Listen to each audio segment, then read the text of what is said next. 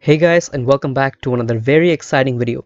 So I often see comments under my videos that hey, I bought this X laptop about Y months ago and now it's overheating and throttling and all that. So my response to that is that it's time you clean up the heat sinks and fans and maybe apply fresh thermal paste.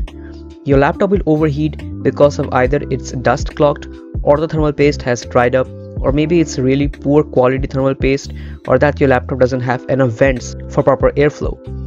The majority of the times is just that a lot of dust has clogged into the spaces in the fins of the heatsink and that your thermal paste has dried up. So in this video I'll show you how to clean your laptop from the inside and the outside and how to apply fresh new thermal paste. So this is my personal laptop the Helios 300 2018. I've been using this for the last two and a half years and I last cleaned the inside in late March 2020 so almost a year ago and I haven't cleaned the outside either for like 3-4 months. So now this laptop throttles immediately in any CPU intensive benchmark just right off the bat 95 degrees centigrade cannot even maintain 3 GHz all 4 cores. At the end of the video I'm gonna do a Cinebench run to show you the before and after differences in performance and temperature. So watch this video till the end guys. This is a relaxing video and after watching this video I hope you'll gain the confidence to do this process on your own on your laptop it's much easier than it sounds guys and this process is the same for almost all traditional notebooks.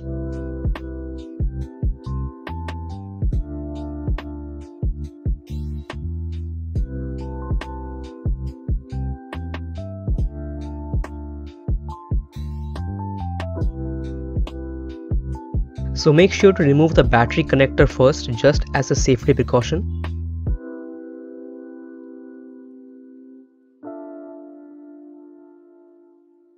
And then you need to remove the two fan connectors. Now just be careful when unplugging the fan connectors. They are quite fragile. So just be careful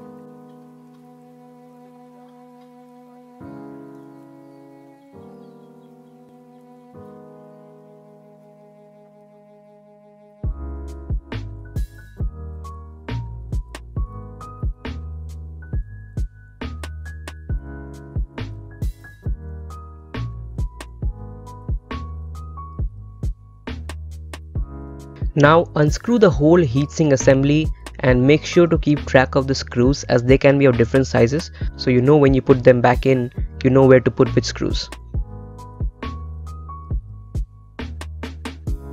Okay so after removing all the screws very gently try to lift up the heatsink assembly.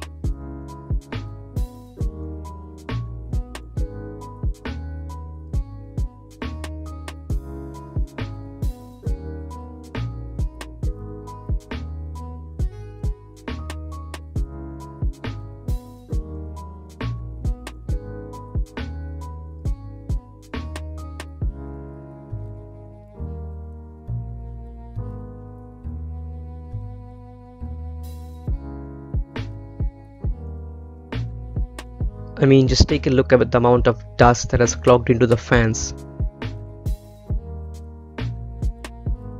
As you take a look into the back of the heatsink assembly you can see the old dried up thermal paste and just look at this dust that has clogged into the heatsink fins. Just insane. I mean why won't the laptop overheat? It has very little space for the hot air to you know exhaust out. So that's the reason your laptop is overheating and now here you can see the dried up thermal paste on top of the CPU and the GPU IHS you can see. You can also see all the VRMs and all. So we have to clean this up.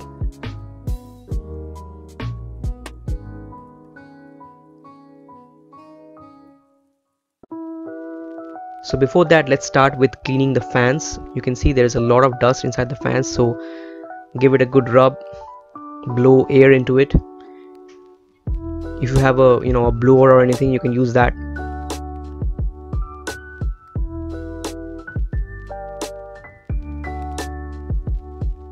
Same with the other fan as well. A lot of dust. Clean it up really nicely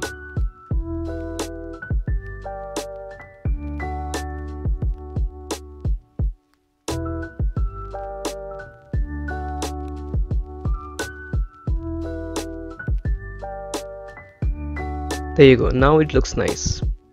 Now time to clean the main dust which is clogging the heatsink so you can just use a brush toothbrush and uh, just brush away all the dust and then you can blow air into it. That will just properly clean it up. So give it a good rub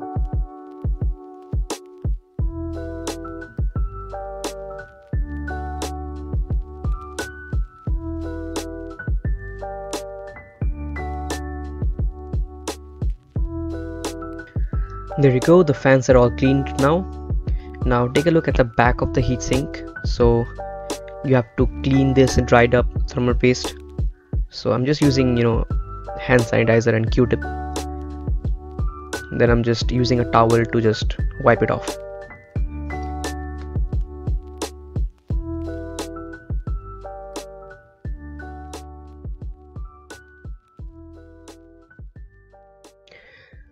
okay so now it's time to clean up the you know dried thermal paste on top of the IHS and I'm gonna use hand sanitizer and q-tips for it.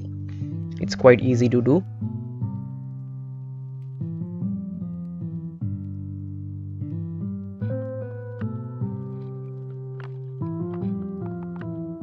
So use a q-tip and wet the surface of the IHS using the hand sanitizer and slowly slowly rub rub off the you know the dry thermal paste.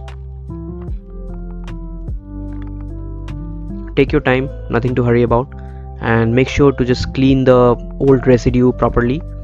The IHS surface should look like a mirror after you properly clean it up. So so repeat the process for the GPU as well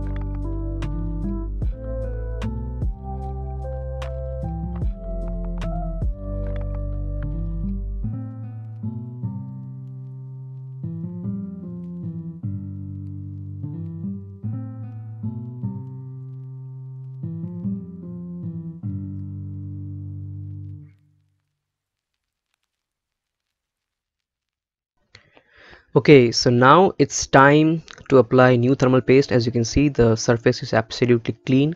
It is shining like a mirror. So now it's time to apply new thermal paste.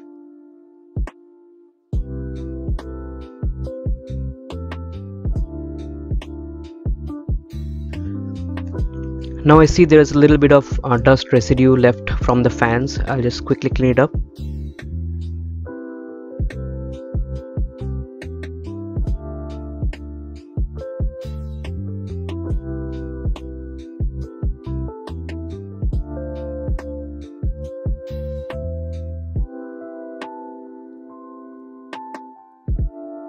okay so now it's time to apply new thermal paste. So I'm going to use the best non-electrically conductive thermal paste that is the thermal grizzly Kryonaut. It cost me about 800 Indian rupees. Now all, all you need to do is put a pea-sized drop on the CPU and the GPU but as you'll see when I do the process I do a bit too much but don't worry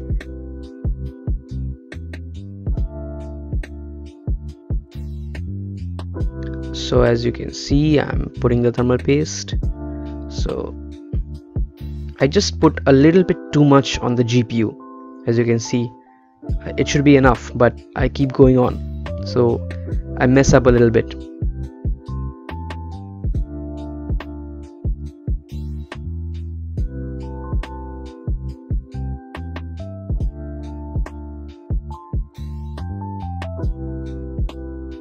on the CPU as well I put just a little too much but that's about it. That's that's that's quite adequate.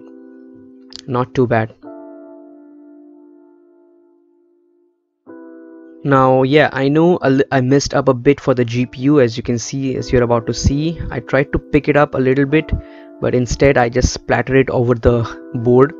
But nothing to worry about. Mistakes can happen. This is non-electrically conductive so it doesn't conduct any electricity so nothing to worry about. Mistakes to happen. I didn't want to cut this part out because it can happen with you also. Uh, so don't worry just use a q-tip and you know clean up the mess. But yeah remember if you are using liquid metal like thermal grizzly Conductonaut this will cause serious issues. It may fry up your board. So be careful. This is not the way to apply you know liquid metal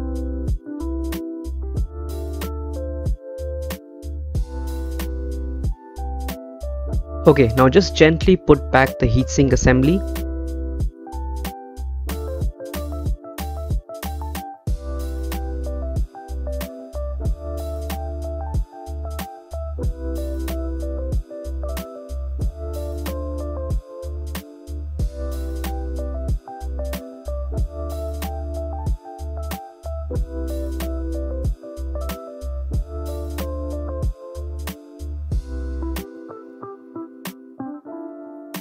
now uh, putting back the fan connectors once again be careful while operating.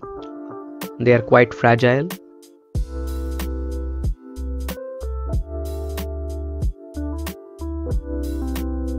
Now just screw back the heatsink assembly. Now just be careful don't apply too much pressure on the screws around the CPU and the GPU they are spring loaded so don't tighten up too much.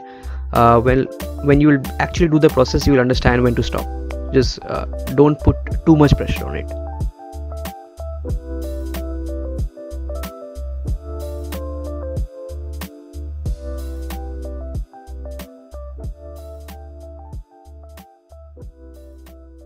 Okay now put back the battery connector in and check all the plugs are connected tightly.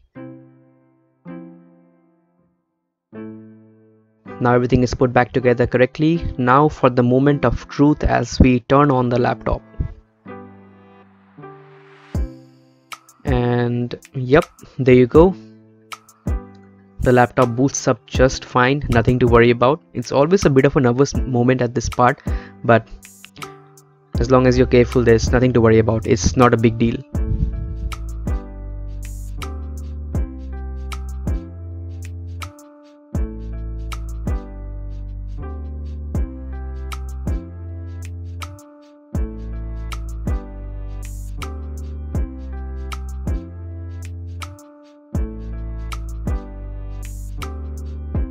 okay so the insides are all cleaned up and nicely. Now here's a quick time lapse of cleaning the outside of the laptop. I should do it right? It's quite dirty on the outside as well. So why not? Just give it a proper cleanup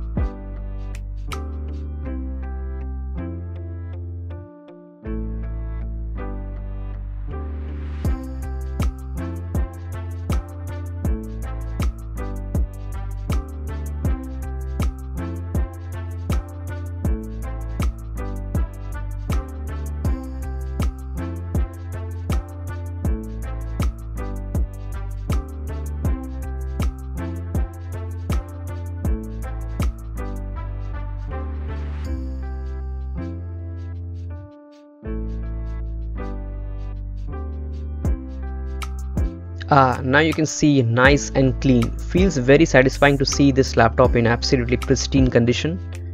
Yep looks nice.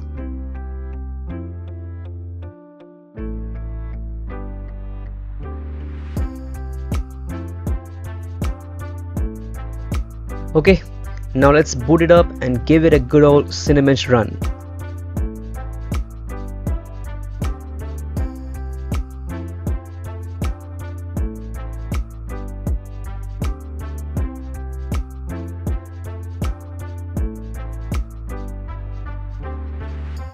So this is before cleaning the laptop.